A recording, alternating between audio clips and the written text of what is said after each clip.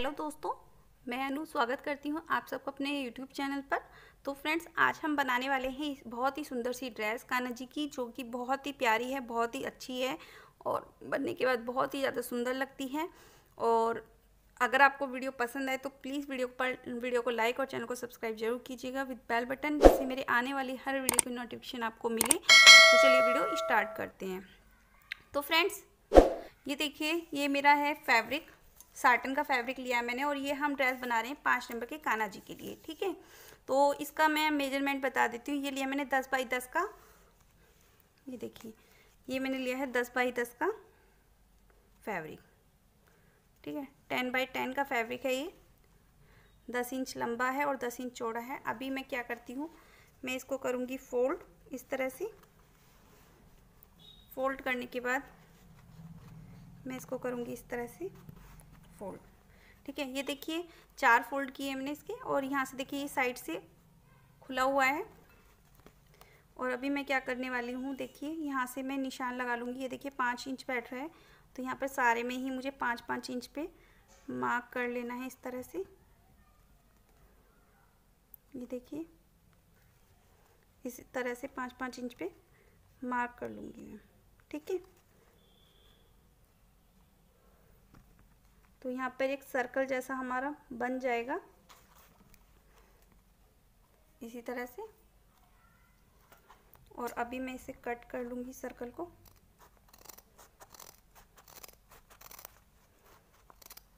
तो इसको मैंने पेपर पेस्टिंग नहीं है पेस्टिंग है जो कि मार्केट में मिलती है आराम से। उसके ऊपर पेस्ट किया है फैब्रिक को।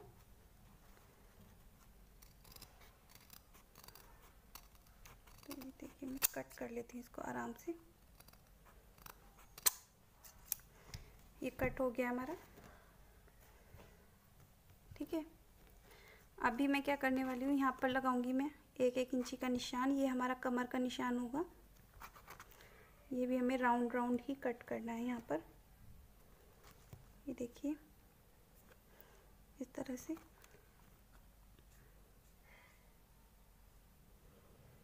इसी तरह से यहाँ पर ये कट कर लेना है।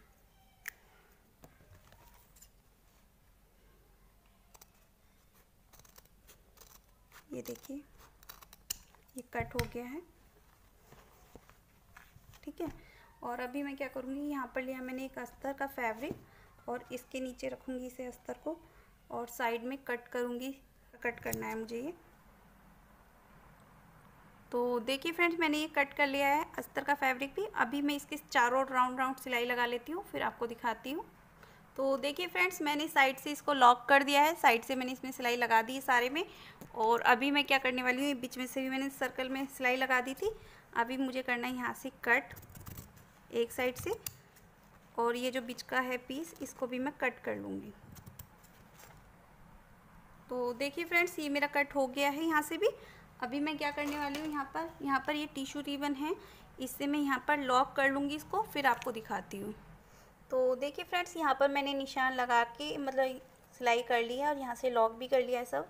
तो अभी मैं क्या करूँगी, मैंने लिया है नेट का फैब्रिक ऑरेंज कलर का ही। और मैं क्या करूँगी, मैंने ली हैं ये पट्टियाँ। और मैंने ये ली हैं इससे एक एक इंच एक्स्ट्रा ये देखिए, घेरे से एक एक इंच एक्स्ट्रा ली हैं। ये देखिए, ठीक है? और अभी मैं क्या करूँगी, मैं भरूँगी इनकी चुन्नटें। तो चुन्नट में भर लेती हूँ, फिर आपको दिखाती हूँ। ऐसे प्लेट्स भरनी है, इस तरह से कर करके पास पास इस तरह से प्लेट्स भरनी है, फिर मैं आपको दिखाती हूँ। तो देखिए फ्रेंड्स, फ्रिल हमने बना ली है इस तरह से, और इस फ्रिल को करना क्या है, यहाँ पर रखकर हमें चारों ओर इसके अटैच कर देनी है। मैं करती हूँ, फिर दिखाती हूँ आपको। तो देखिए फ्रेंड्स, मैंने इसको अटैच कर लिया और साथ में मैंने क्या किया, मैंने यहाँ पर भी स्टिच करके इसे सिलाई कर ली है। ताकि ये हमारा बंद हो जाए और यहाँ से भी स्टिच कर दिया ताकि ये बंद हो जाए। अभी मैं ये एक्स्ट्रा फैब्रिक को कट कर दूँगी। और ये यहाँ से लॉक करना बहुत ज़्यादा ज़रूरी है गाइस क्योंकि नहीं तो फिर ना आपकी फ्रिल खड़ी खड़ी रहेगी, उसके ऊपर आप कोई भी डिज़ाइन बनाएँगे तो वो डिज़ाइन आपका अच्छे से शो नहीं हो पाएगा, ठीक है? तो मैं इसको कट करती हूँ पहले। तो देखिए फ्रेंड्स, मैंने ये कट कर लिया। अभी मैं क्या करूँगी, मैंने लिए एक और एक पट्टी और इसकी चौड़ाई लगभग दो इंची है। एक मिनट दिखाती हूँ आपको। ये इसकी लंबा, चौड़ाई लगभग ढाई इंची है, ढाई पौने तीन इंची। चौड़ाई आप अपने अकॉर्डिंग ले सकते हो। अभी मैं क्या करूँगी, इसको फोल्ड करना है इस तरह से और यहाँ पर उल्टा रखना है इसको उल्टा रख कर यहाँ पर अटैच कर देना है बाहर की साइड। इस तरह से रख के यहाँ पर अटैच कर देना चारों ओर। मैं अटैच करती हूँ, फिर आपको दिखाती हूँ। तो देखिए फ्रेंड्स ये मेरी पाइपिंग लग गई है और देखिए इस पाइपिंग की एक बात बताती हूँ आपको। अगर आपकी पाइपिंग बिल्कुल ठीक लगी तो वो बिल्कुल खड़ी हो जाएगी। अगर पाइपिंग आपकी और नहीं है, ठीक से कटी हुई नहीं है तो ये खड़ी नहीं होगी। अभी मैं क्या करूँगी इसको सीधा करूँगी इस तरह से। और सीधा करने के बाद इसको पट्टी को इधर रख के इस तरह से पलटूँगी और इसके साथ में इस तरह से डोरी अटैच करते हुए यहाँ पर एक सिलाई लगा दूँगी चारों देखिए फ्रेंड्स हमने यहाँ पर भी सिलाई लगा ली है। और अभी मैं क्या करूँगी, इस तरह की मेरे पास लेस थी ब्लू कलर की तो मैं ये लेस चार रोड लगा लूँगी इसकी। आप चाहे तो इसे ग्लू गन से चिपका सकती हो बट मैं इसे सिलाई करूँगी यहाँ पर। तो सिलाई करती हूँ, फिर आपको दिखाती हूँ। तो देखिए फ्रेंड्स लेस मैंने लगा ली है और अभी हमें बनाने हैं इस तरह के फ्लावर्स जी हाँ ये वाले फ्लावर्स मैंने हैंडमेड बनाए हैं। आपको मैं अभी बताती हूँ बनाना, इस तरह के हमें फ़्लावर्स बनाने हैं। और ये सारे फ्लावर्स मैंने बना के रखे हुए हैं। आपको मैं एक बनाना बता देती हूँ कि कैसे बनाने हैं फ्लावर्स। ठीक है? और इन्हें बनाना बहुत ही आसान है, बहुत ही आसान गाइस तो सबसे पहले मैंने लिया है नेट का फैब्रिक ब्लू कलर का और इसके मैंने कट कर लिया एक सर्कल। ये देखिए, ये सर्कल कट के इस तरह से हमें बहुत सारे सर्कल कट कर लेने हैं। एक फ्लावर में सिक्स लगेंगे। आप चाहे तो अलग अलग कलर के भी फ्लावर्स बना सकते हो मल्टी कलर में और चाहे एक कलर में। उसके बाद करना क्या इसको करना है हमें फोल्ड इस तरह से। और इसको इस तरह से फोल्ड करना है एक बार और। ठीक है, इस तरह से वी बना लेना है। और जिधर से ये ओपन है हिस्सा, इधर हम सुई धागे की हेल्प से इस तरह से कच्चा टाका लगा लेंगे। ये देखिए, इस तरह से। ठीक है? इस तरह से। ठीक है? और इसी तरह से मैं सारी लीव्स बनाकर कर लूँगी रेडी और एक ही धागे में हमें सारी पुरानी हैं। आप चाहे तो अलग अलग बना सकते हो बट एक साथ ही बन जाती हैं, कोई दिक्कत नहीं होती इनमें। तो इसी तरह से इनमें करना है आपको। देखिए इस तरह से। ये देखिए। ठीक है, इसी तरह से बनाने हैं सारे फ्लावर्स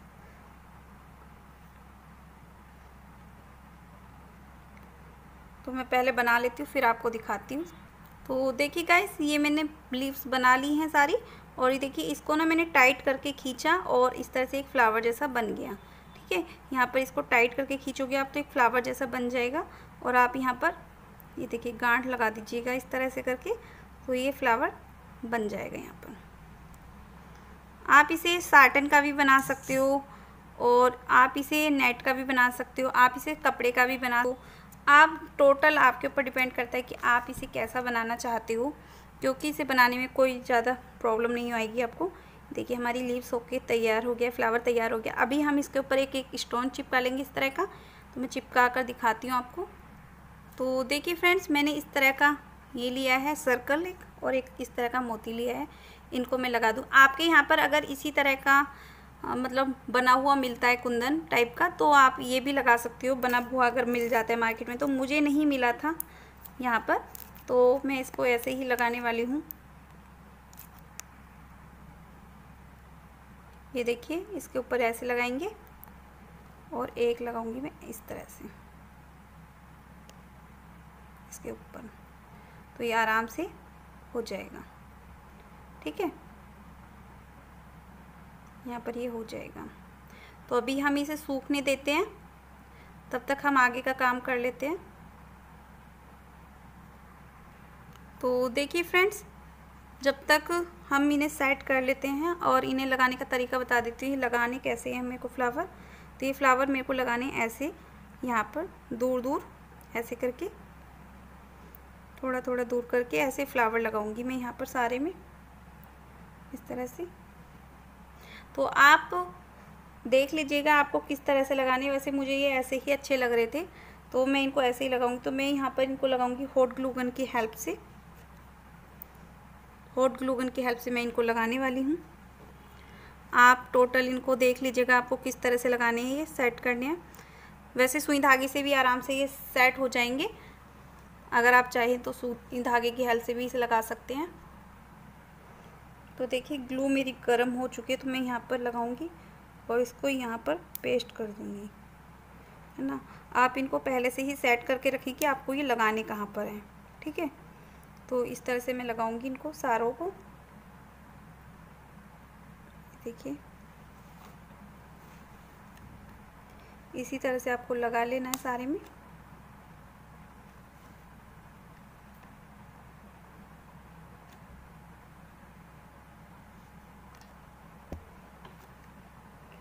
मैं पहले इन्हें लगाती हूँ जल्दी। फ्रेंड्स, ये हमारा तैयार हो चुका है। अभी हमें बनानी है चोली इनकी। तो चोली भी बनाना देख लेते हैं कैसे बनानी है। तो दोस्तों, यहाँ पर ना मैं छोटे छोटे से बीट्स भी लगा दूँगी बीच में लेकिन पहले मैं चोली बता देती हूँ आपको चोली कैसे करनी है। तो ये लिया मैंने फैब्रिक। ये लिया मैंने साटन का फैब्रिक। और इसकी मैं लंबाई बता देती हूँ, क्योंकि हम चार से पाँच नंबर के काना जी का ये बना रहे हैं। तो इसके लिए हमने चोली की लंबाई ली है ग्यारह इंच। ग्यारह इंच लंबा है और ढाई इंची चौड़ा है। तो अभी करना क्या है हमें? इस पर हमें इस तरह से करनी है एक स्टिचिंग ऐसे ऐसे करके हमें यहाँ पे सामने, साइड से स्टिच कर लेना है और उसके ऊपर ये वाली लेस लगा देनी है। तो पहले मैं इतना काम करती हूँ, फिर आपको दिखाती हूँ। तो गाइस देखिए हमने यहाँ पर लेस लगा ली है। मैं ये वाली लेस लगाना चाहती थी यहाँ पर साइड में बट ये लेस मेरी थोड़ी सी कम रह गई और कम लेस लगाकर कोई फ़ायदा नहीं था, अच्छी नहीं लगती ना, फिर वो थोड़ा सा पीस रह जाता तो वो अच्छा नहीं लगता। इसलिए मैंने ये वो नहीं लगाई बट सेम कलर की मेरे पास छोटी लैस थी तो मैंने वो लगा दी। और इसको मैं दो पीस इसमें कट करूँगी यहाँ से। कट करने के बाद मैं इसको उल्टा रखूँगी इस तरह से, इस तरह से। और यहाँ पर लगा देनी थोड़ी सी सिलाई। तो सिलाई लगाती हूँ, फिर आपको दिखाती हूँ। तो देखिए फ्रेंड्स चोली हमारी तैयार हो चुकी है। यहाँ पर देखिए मैंने सिलाई लगाई थी और ये डोरी है। इसको पहनाने के लिए आपको इस तरह से पहनाना है, अपने गुड्डू को मतलब लड्डू गोपाल जी को, और इस तरह से पीछे से बाँध देना है। ठीक है? यहाँ पर रख देना है। तो अभी मैं यहाँ पर स्टोन्स और लगा देती हूँ सारे में, फिर दिखाती हूँ आपको। तो देखिए फ्रेंड्स इसके ऊपर मैंने ये स्टोन्स लगा लिए हैं। ये मेरे पास थे स्टार वाले। थोड़े से देखिए, पास से दिखा देती हूँ मैं आपको। ये कुछ इस तरह से है।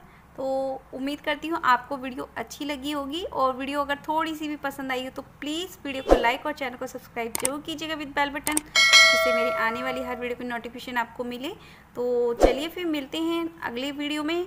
तब तक के लिए राधे राधे।